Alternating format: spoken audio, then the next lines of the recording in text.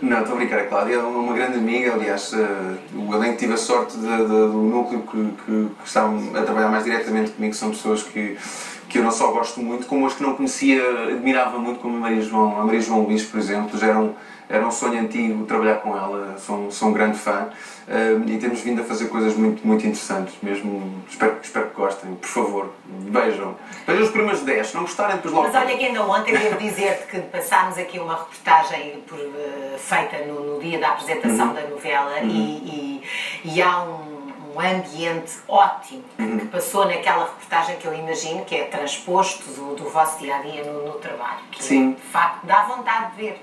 Eu acho que coisas como, por exemplo, o Emmy que nós recebemos. Uh, fazem-nos mesmo a nós atores e mesmo a toda a equipa uh, elevar a fasquia, sabe? É uma coisa de, ok, nós, nós já temos a confirmação e não é nossa de que aquilo que estamos a fazer tem qualidade.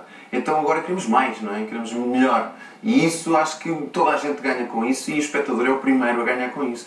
Portanto, nós, obviamente, quando, quando estamos há uma série de meses a trabalhar para, para o público, agora estamos em um pé de galinha para saber o que é que o público responde, não é? E acho que isso é uma, é uma coisa que sente, eu já, vim, já tenho vindo a sentir na SIC há muitos anos e, e agora mais do que nunca acho que estamos, estamos num patamar de excelência que, que merece ser retribuído com, com as pessoas assistirem àquilo que estamos a fazer. Vão assistir com certeza, nós estamos aqui todos com uma grande curiosidade. Diogo, fala-me lá do teu trabalho como realizador, que é outra das que tens na manga, não, não é? Não tenho nada na manga, não. Então não há agora ah, para partilhar connosco? Sim, é assim, eu, não, eu não, não, nunca escondi que, que é uma, uma meta minha, talvez a longo prazo, vir a fazer um, um trabalho mais constante como, como realizador. E, como tal tenho vindo a preparar há alguns anos uh, a nível de formação, obviamente, para, para poder dar os passos, não é? E, e, e este foi talvez a. Olha aqui. Aqui estão, é? Este talvez. O break com um, a ah, Lúcia Muniz e o Rui Uno. Sim, uh, portanto chamei dois grandes companheiros de vida para, para estarem ao meu lado e para, e para me ajudarem a contar esta história. E um, tem sido uma experiência muito boa, foi uma experiência muito boa.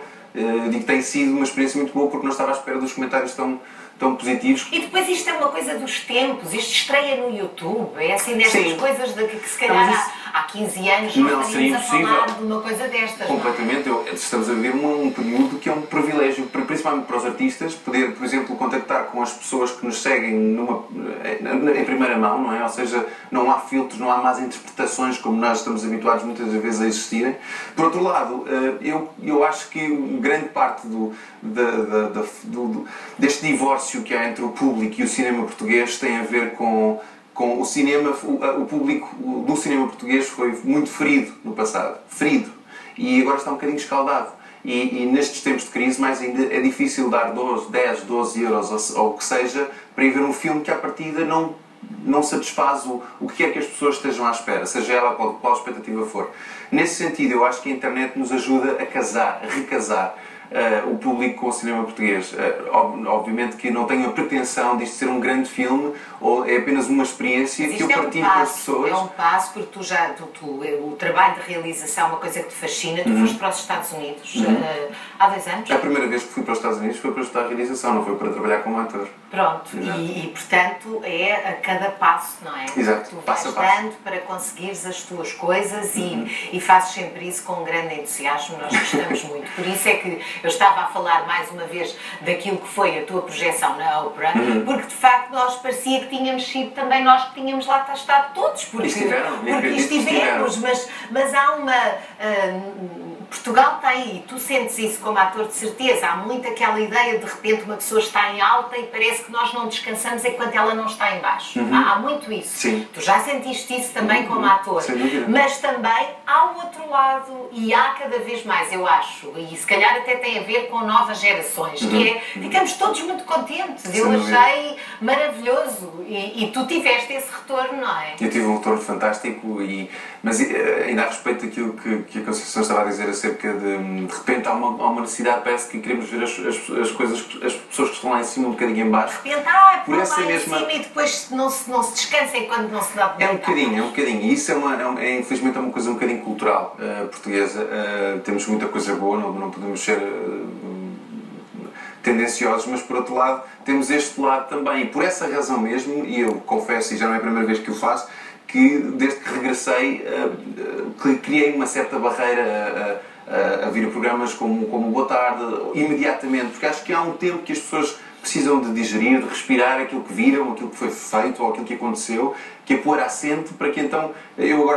esteja aqui de uma forma completamente descontraída, sem, sem, sem medo que me, que me falem em outras coisas, que se calhar eu agora já, estou, já depois de digeridas já estou muito mais apto a responder. Acho que o calor das coisas quando são quando as pessoas têm, correm muito, uh, as gatas apressadas têm os filhos cegos, não é?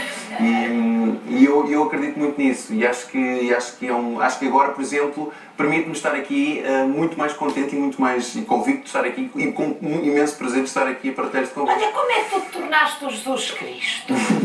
como é que isso aconteceu? Pois não sei, não Não era um papel que tu estive, tivesses, provavelmente, se calhar já pensaste, gostava de fazer isto, gostava de fazer Sim, aquilo, nunca tinhas pensado em que gostavas de fazer Não, claro que não, não. Eu acho que eu, nunca tive. Há géneros de coisas que nós, que eu confesso que, como qualquer outra pessoa, tem. tem um desejo ou, ou, uma ambição em fazer, um género de um tipo de papel. Ou, agora, nunca uma figura histórica como, como, como, como Jesus, e, e não é só histórica, religiosa, humana, o que quer que seja. Uh, mas se formos por aí, também nunca na vida pensei em fazer de Salazar, não é? E é verdade. Uh, Porque são, são de facto. Uh são os percursos, não consegues antecipar. São aquelas surpresas boas da vida um, que nos permitem, que nos presenteiam e, e que permite-nos a nós uh, olharmos um bocadinho para nós e vermos como, da, a forma como nós próprios recebemos esses presentes. Tu já tiveste um, a oportunidade de, de falar de, de, da cena da crucificação. Uhum. Dizes que foi a que te custou mais. Uhum, foi. Porquê? então já falei, não preciso de falar. Mas aqui não vou estar. Não, estou a brincar. Um, sim, porque repara um momento, uh, eu acho que a história a história que mudou o mundo, se podemos dizer assim, uh, uh, define-se por aquele momento, não é? Ou seja, não havendo a crucificação, não havendo o sacrifício máximo uh, da figura de Jesus por todos nós, não haveria, se calhar, o cristianismo em Portugal. Em Portugal, disparado, no mundo. portanto, é um momento que define tudo. E a verdade com que um ator é posto numa situação como aquelas, não pode ser nunca meio gás, nunca pode ser a meio termo, nunca pode ser eh, ou seja, cada segundo e que eu estive naquele momento. meia dúzia de minutos. Também. Não, não. Foi de facto muito tempo uh, em que cada, cada segundo que estava a ser filmado e, eh, para mim era absolutamente era 200% de verdade e que isso, como deve calcular, é, um, é de uma violência extrema para, uma, para um, um mortal. Uh, portanto, é, é, nessa escala que, que é de facto é, é para lá de, de descritível, é para, para, lá de palavras. Eu acho que vou demorar alguns anos até conseguir digerir uh, por inteiro uh, o que se passou ali e tenho muita dificuldade em ver. Uh, vi uma, duas vezes e foi, foi, foi muito forte para mim. Não, não, é muito difícil, não me vejo a mim isso também, também me impressiona. É uma coisa extraordinária, tu não te veres a ti, não é? Num trabalho teu, é um, é um grande momento para ti, eu acho. Sem dúvida, sem dúvida. Mas acho que todas as coisas. Eu quando gosto muito do chocolate, como devagarinho.